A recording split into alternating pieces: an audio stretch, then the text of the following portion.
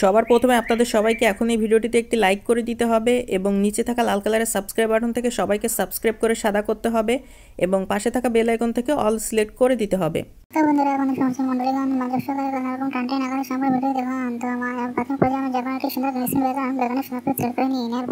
আমার সরাসরি প্রাথমিক টিকা নিয়ে এবং গায়ে হাতে যখন একটি সুন্দর অসাধারণ চমৎকার ছবি